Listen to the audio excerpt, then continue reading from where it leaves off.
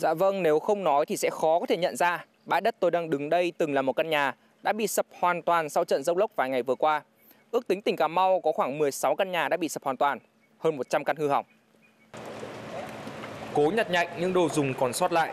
Bản thân ông Văn vẫn chưa hết bàng hoàng khi cả gia sản biến mất chỉ trong vài phút ngắn ngủi.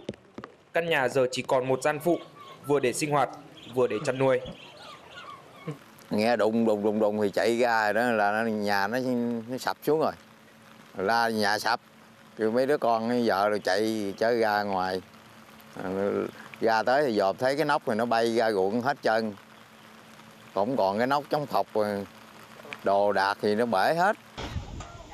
Cơn bão số 1 tương tác làm gió mùa Tây Nam mạnh thêm, cuốn theo hàng trăm nóc nhà, thiệt hại chủ yếu ở các xã ven biển hỗ trợ cho chị những ờ, mà chằng chống lại nhà cửa.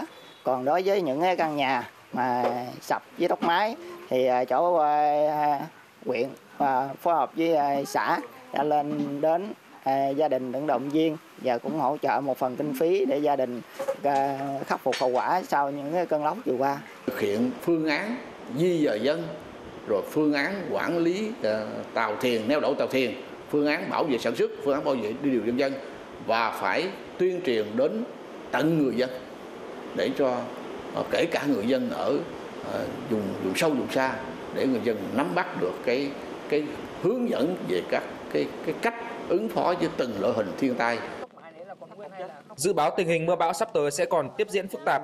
Ban chỉ huy phòng chống thiên tai và tìm kiếm cứu nạn tỉnh Cà Mau sẽ liên tục thông báo, cập nhật thông tin thời tiết đến người dân nhằm có phương án ứng phó, giảm thiểu thiệt hại.